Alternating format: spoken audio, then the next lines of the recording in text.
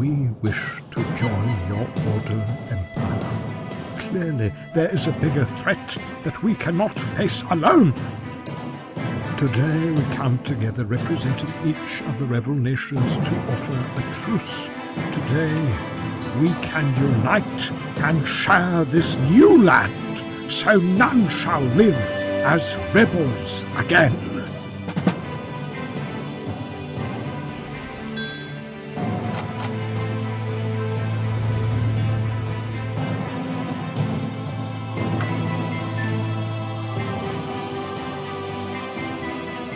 Oh, oh, oh.